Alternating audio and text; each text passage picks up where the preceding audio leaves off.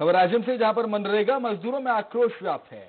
पाली ग्राम पंचायत में चल रहे रोज़गार गारंटी योजना के तहत तालाब गहरीकरण कार्य में लगे मजदूरों की पगार काटी जा रही है, जिसको लेकर ग्रामीण मजदूर काफ़ी परेशान हैं।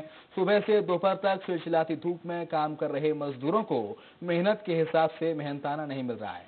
वहीं मनरेगा के तहत साल 2016 में भी गाँव के सैकड़ों मजदूरों ने तकरीबन 45 दिन इसी तालाब में काम किया था।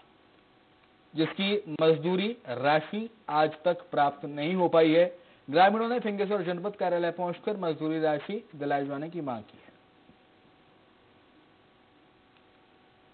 वो पथारी घाट में पूरा मुरुम बग रहा सड़क फेंके हैं माटी फेंके ओमे के नहीं मिले। दर्शन पूरा काम करे हैं 2016 में ओमे के एक रुपया नहीं मिले। एक दिन सरपंच लगे हैं कि एंट्री करा सरपंच ला वही दिन का हम के बारह सौ रुपया है ओकर छोड़ एक रुपया नहीं आए। काम कर रहे थे? जिसमें से कुछ लोगों का पैसा पोस्ट ऑफ़िस में मिला है और कुछ लोगों का खाता के माध्यम से मिला है। और कुछ लोगों का पैसा ही नहीं मिला है। कितने दिन काम लगभग बयालीस दिन हुआ है। वो लोग बोलते हैं कि हम लोग डाल चुके हैं। लेकिन जनता के पास पैसा आया ही नहीं है। नेट में पूरा पैसा दिखाता है लेकिन इनके पास आया नहीं है। पूर्व मुख्यमंत्री अजीत जोगी की हालत में चौदह दिन बाद भी